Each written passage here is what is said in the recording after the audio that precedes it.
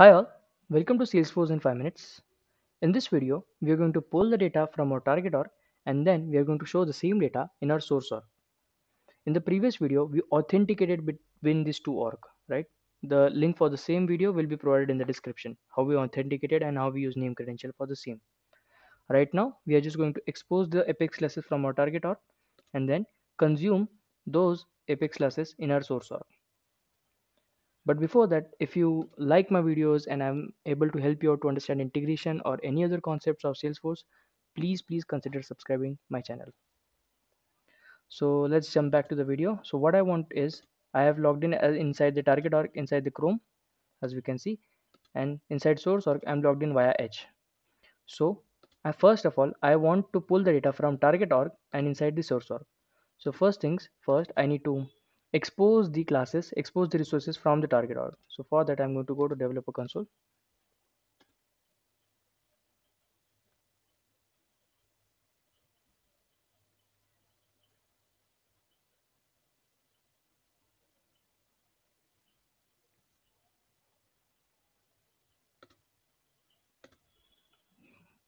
Classes integration expose so as we need to expose our apex class that's why i'm going to use rest resource. And also i'm going to provide a url mapping along with that.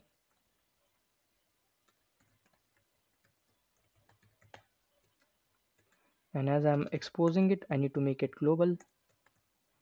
And then what i want is i want to show this particular data particular contact and I need to basically I need to pass this data this particular data to another org right? I need to pass this data. So I'm going to use HTTP get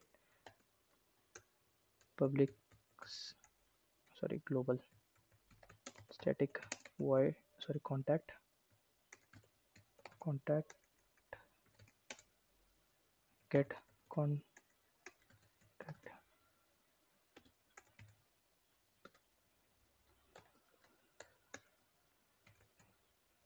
contact con equals to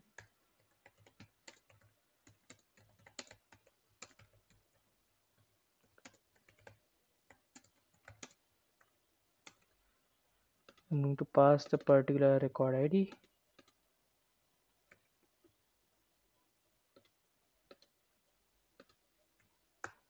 and return con. So we are done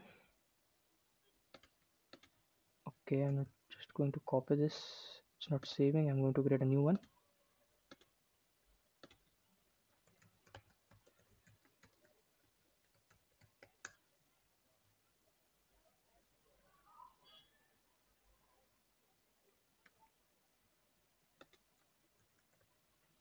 I'm going to save it. Okay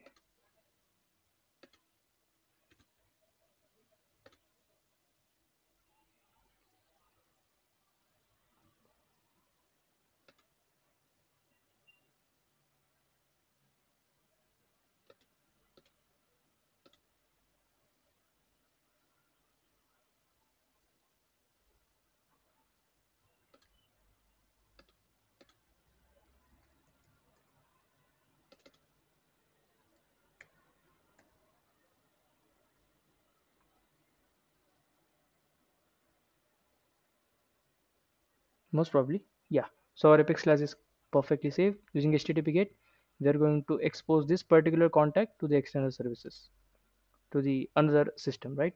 So now this data is available. So i'm going to consume the same. So first of all for that i'm going to go to the developer console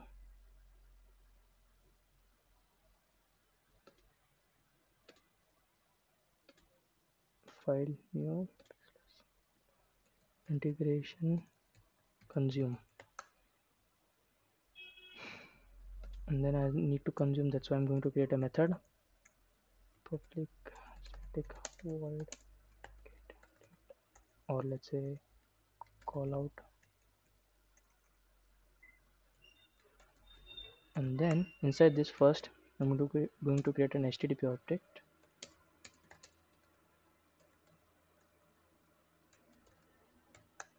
and then http request as we need to make a request. Need to send a request sorry.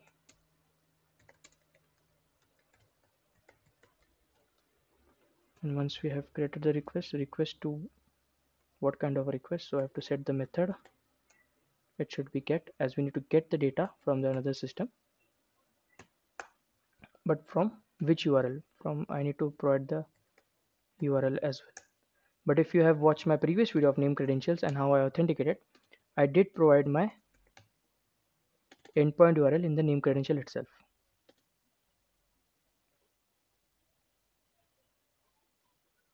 So this is where I provided the endpoint URL this is an authentication this is the part of authentication video. I'll provide the link for the same in my description. So I'm going to copy it and then call out colon this and then I have to provide my URL mapping. So my URL mapping is this. Before that I need services slash apex rest slash Yeah. now I need to send this request and basically I need to send this request using HTTP object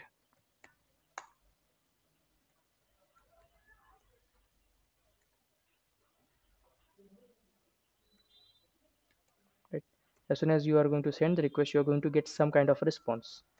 So I'm going to store that response inside inside HTTP response object. And then we are going to check the status code.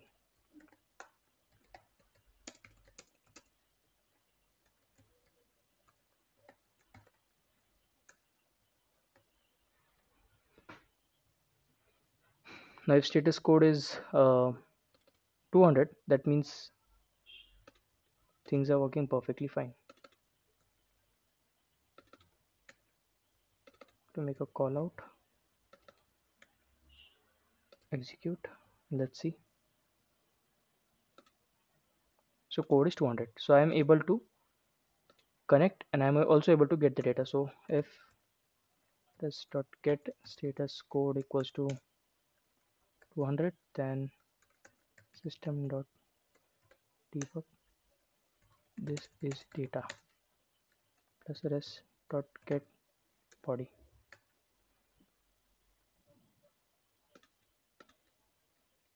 So again I'm going to make a call out. And let's check what's the data. So as we can see id is this and name is timbar. So if you go to this record id is cs triple a. I think so CS triple A and name is also Timbar. Name is also Timbar. So this is how we pull the data first of all this is how we expose the data to the external system and this is how we pull the data from the external system inside your own Salesforce. So if you found this video helpful please consider subscribing to my channel.